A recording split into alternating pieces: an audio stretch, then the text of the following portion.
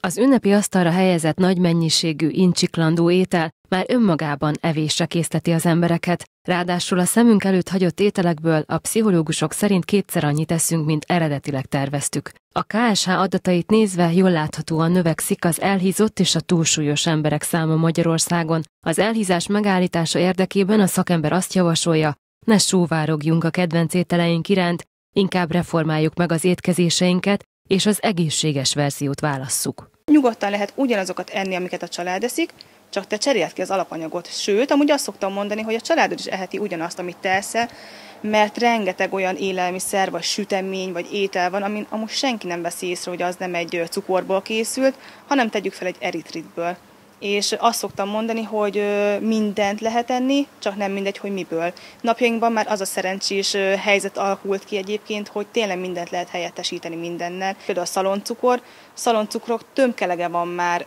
egyébként amúgy a cukormentes, vagy az alakbarát verzióból, de már van a vegánoknak, amúgy van a gluténérzékenyeknek, talán a laktózérzékenyeknek is van már szaloncukor.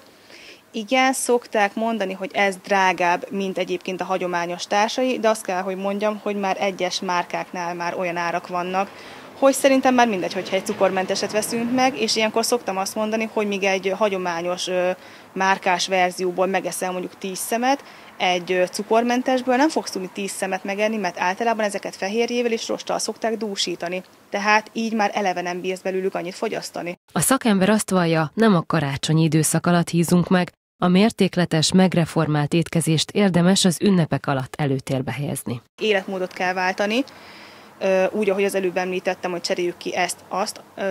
Ilyenkor az történik amúgy, hogy az emberek, hogyha jól csinálják, akkor itt nem szokott feladás történni. Méghozzá azért nem szokott feladás történni, mert hogy a szervezet nem nélkülöz semmit, nem nélkülözi az édességet, a chipseket, a húsokat, a zöldségeket, semmit nem szokott nélkülözni, akár süteményt is lehet enni, és nagyon jó, hogy most jön a karácsonyi időszak, mert én például kettő hete beiglit sütöttem.